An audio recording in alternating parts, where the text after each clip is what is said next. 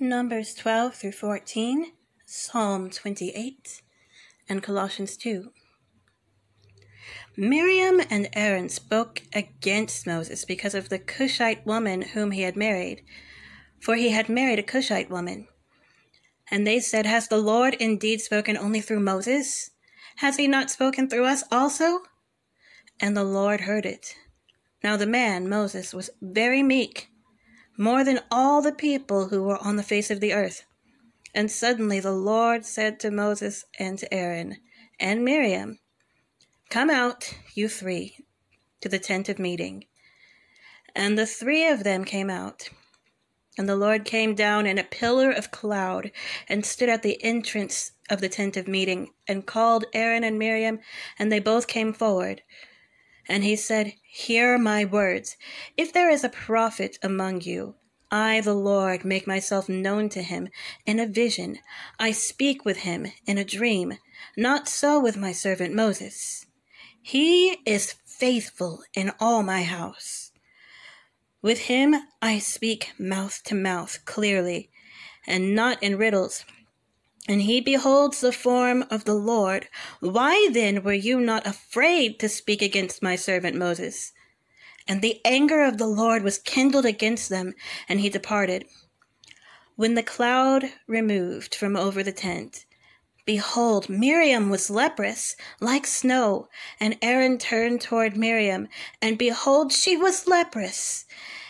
And Aaron said to Moses, O my Lord, do not punish us because we have done foolishly and have sinned. Let her not be as one dead, whose flesh is half eaten away when he comes out of his mother's womb. And Moses cried to the Lord, Oh God, please heal her, please. But the Lord said to Moses, If her father had but spit in her face, should she not be shamed seven days? Let her be shut outside the camp seven days, and after that she may be brought in again. So Miriam was shut outside the camp seven days, and the people did not set out on the march till Miriam was brought in again. After that, the people set out from Hazeroth and camped in the wilderness of Paran. Numbers 13. The Lord spoke to Moses, saying, Send men to spy out the land of Canaan, which I am giving to the people of Israel. From each tribe of their fathers you shall send a man, every one a chief among them. So Moses sent them from the wilderness of Paran according to the command of the Lord, all of the men who were heads of the people of Israel. And these were their names from the tribe of Reuben, Shammua, the son of Zaccur, from the tribe of Simeon, Shaphat, the son of Hori, from the tribe of Judah, Caleb, the son of Jephunneh, from the tribe of Issachar, Igal, the son of Joseph. From the tribe of Ephraim, Hoshea, the son of Nun. From the tribe of Benjamin, Palti, the son of Raphu. From the tribe of Zebulun, Gaddiel, the son of Sodi. From the tribe of Joseph, that is, from the tribe of Manasseh, Gaddi, the son of Susai. From the tribe of Dan, Ammiel, the son of Gemalli. From the tribe of Asher, Sethur, the son of Michael. From the tribe of Naphtali, Nahbi, the son of Vophsi. From the tribe of Gad, Geuel, the son of Machi. These were the names of the men whom Moses sent to spy out the land. And Moses called Hoshea, the son of Nun, Joshua. Moses sent them to spy out the land of Canaan, and said to them, Go up into the Negeb, and go up into the hill country, and see what the land is like, and whether the people who dwell in it are strong or weak, whether they are few or many and whether the land that they dwell in is good or bad, and whether the cities that they dwell in are camps or strongholds, and whether the land is rich or poor, and whether there are trees in it or not. Be of good courage, and bring some of the fruit of the land. Now the time was the season of the first ripe grapes. So they went up and spied out the land from the wilderness of Zin to Rehob, near Lebo Hamath. They went up into the Negeb and came to Hebron. Ahiman, Sheshai, and Talmai, the descendants of Anak, were there. Hebron was built seven years before Zoan in Egypt. And they came to the valley of Eshcol and cut down from there a branch with a single cluster of grapes, and they carried it on a pole between two of them. They also brought some pomegranates and figs. That place was called the Valley of Eshcol because of the clusters that the people of Israel cut down from there. At the end of forty days, they returned from spying out the land. And they came to Moses and Aaron and to all the congregation of the people of Israel in the wilderness of Paran at Kadesh. They brought back word to them and to all the congregation and showed them the fruit of the land. And they told him, We came to the land to which you sent us. It flows with milk and honey and this is its fruit. However, the people who dwell in the land are strong, and the cities are fortified and very large. And besides, we saw the descendants of Anak there. The Amalekites dwell in the land of the Negeb. The Hittites, the Jebusites, and the Amorites dwell in the hill country. And the Canaanites dwell by the sea and along the Jordan. But Caleb quieted the people before Moses and said, Let us go up at once and occupy it, for we are well able to overcome it. Then the men who had gone up with him said, We are not able to go up against the people, for they are stronger than we are. So they brought to the people of Israel a bad report of the land that they had spied out, saying, The land through which we have gone to spy it out is a land that devours its inhabitants, and all the people that we saw in it are of great height. And there we saw the Nephilim, the sons of Anak, who come from the Nephilim. And we seem to ourselves like grasshoppers, and so we seem to them.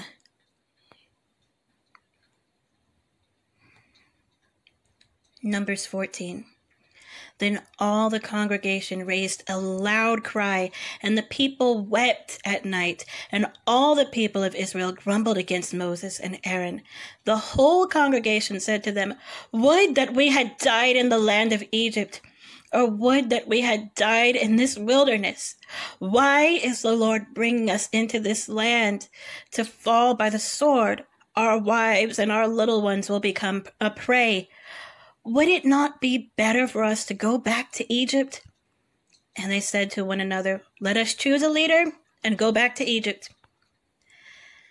Then Moses and Aaron fell on their faces before all the assembly of the congregation of the people of Israel. And Joshua the son of Nun and Caleb the son of Jephunneh, who were among those who had spied out the land, tore their clothes and said to all the congregation of the people of Israel, the land which we passed through to spy it out is an exceedingly good land. If the Lord delights in us, he will bring us into this land and give it to us, a land that flows with milk and honey.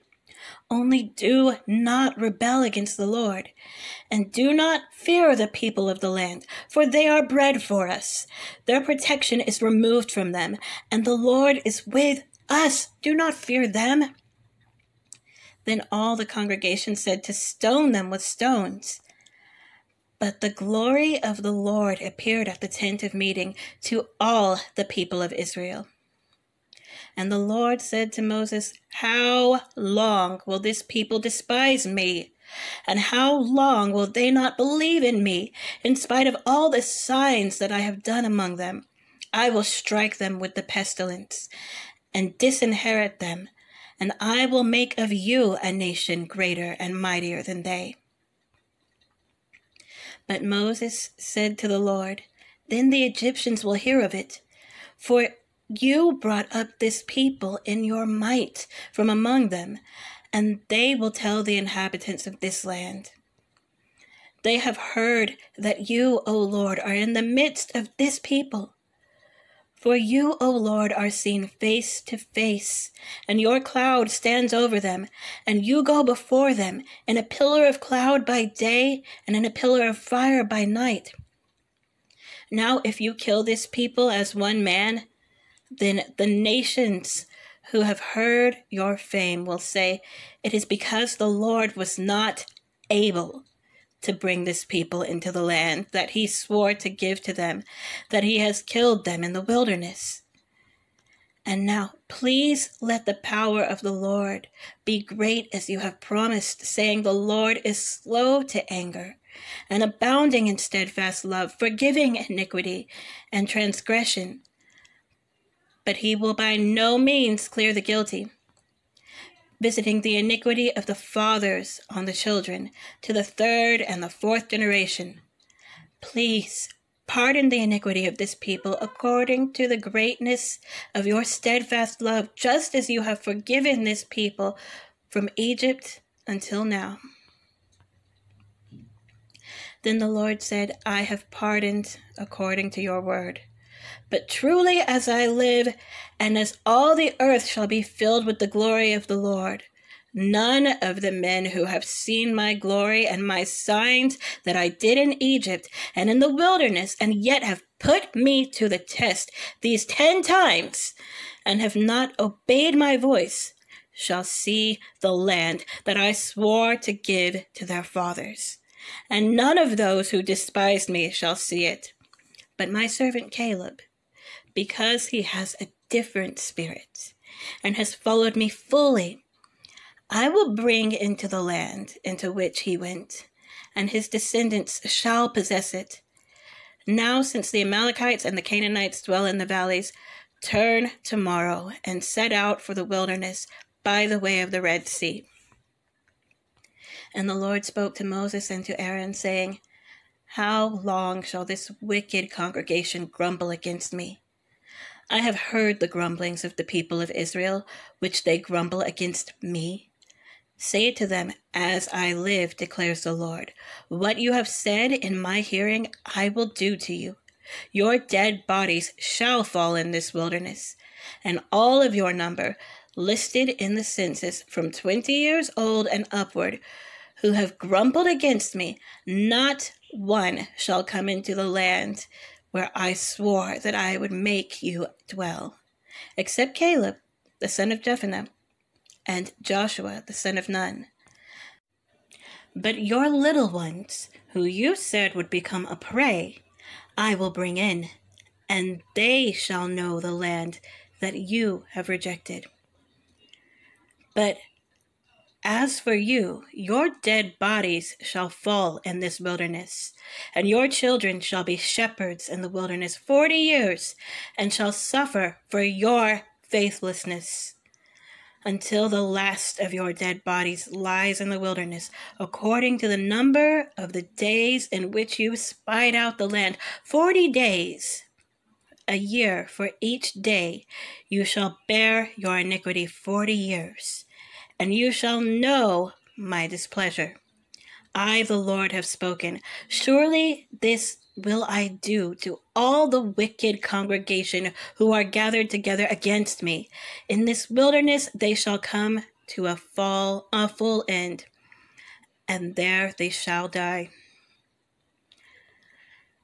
And the men whom Moses sent to spy out the land, who returned and made all the congregation grumble against him by bringing up a bad report about the land, the men who brought up a bad report of the land died by plague before the Lord. Of those men who went to spy out the land, only Joshua the son of Nun and Caleb the son of Jephunneh remained alive. When Moses told these words to all the people of Israel, the people mourned greatly, And they rose early in the morning and went up to the heights of the hill country, saying, Here we are. We will go up to the place that the Lord has promised, for we have sinned. But Moses said, Why now are you transgressing the command of the Lord, when that will not succeed? Do not go up, for the Lord is not among you, lest you be struck down before your enemies. For there the Amalekites and the Canaanites are facing you, and you shall fall by the sword, because you have turned back from following the Lord. The Lord will not be with you. But they presumed to go up to the heights of the hill country, although neither the ark of the covenant of the Lord nor Moses departed out of the camp. Then the Amalekites and the Canaanites who lived in the hill country came down and defeated them, and pursued them, even to Hormah. Psalm 28 of David. To you, O Lord, I call, my rock, be not deaf to me, lest if you be silent to me, I become like those who go down to the pit. Hear the voice of my pleas for mercy. When I cry to you for help, when I lift up my hands toward your most holy sanctuary. Do not drag me off with the wicked, with the workers of evil who speak peace with their neighbors while evil is in their hearts. Give to them according to their work and according to the evil of their deeds. Give to them according to the work of their hands. Render them their due reward. Because they do not regard the works of the Lord or the work of his hands, he will tear them down and build them up no more. Blessed be the Lord, for he has heard the voice of my pleas for mercy. The Lord is my strength and my shield. In him my heart trusts, and I am helped. My heart exults, and with my song I give thanks to him. The Lord is the strength of his people. He is the saving refuge of his anointed. Oh, save your people and bless your heritage. Be their shepherd and carry them forever. Colossians 2 For I want you to know how great a struggle I have for you, and those at Laodicea, and for all who have not seen me face to face, that their hearts may be encouraged, being knit together in love to reach all the riches of full assurance of understanding and the knowledge of God's mystery, which is Christ, in whom are hidden all the treasures of wisdom and knowledge. I say this in order that no one may delude you with plausible arguments. For though I am absent in body, Yet I am with you in spirit, rejoicing to see your good order and the firmness of your faith in Christ. Therefore, as you received Christ Jesus the Lord, so walk in him, rooted and built up in him, and established in the faith, just as you were taught, abounding in thanksgiving. See to it that no one takes you captive by philosophy and empty deceit, according to human tradition, according to the elemental spirits of the world, and not according to Christ. For in him the whole fullness of deity dwells bodily, and you have been filled in him, who is the head of all rule and authority in him also you were circumcised with a circumcision made without hands, by putting off the body of flesh, by the circumcision of Christ, having been buried with him in baptism, in which you were also raised with him through faith in the powerful working of God who raised him from the dead, and you who were dead in your trespasses and the uncircumcision of your flesh, God made alive together with him, having forgiven us all our trespasses by canceling the record of debt that stood against us with its legal demands.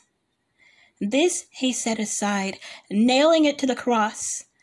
He disarmed the rulers and authorities and put them to open shame by triumphing over them in him. Therefore, let no one pass judgment on you in questions of food and drink, or with regard to a festival, or a new moon, or a Sabbath. These are a shadow of the things to come, but the substance belongs to Christ. Let no one disqualify you, insisting on asceticism and worship of angels, going on in detail about visions puffed up without reason by his sensuous mind, and not holding fast to the head, from whom the whole body, nourished and knit together through its joints and ligaments, grows with a growth that is from God. If with Christ you died to the elemental spirits of the world, why, as if you were still alive in the world, do you submit to regulations? Do not handle, do not taste, do not touch, referring to things that all perish as they are used, according to human precepts and teachings. These have indeed an appearance of wisdom and promoting self made religion and asceticism and severity to the body, but they are of no value in stopping the indulgence of the flesh.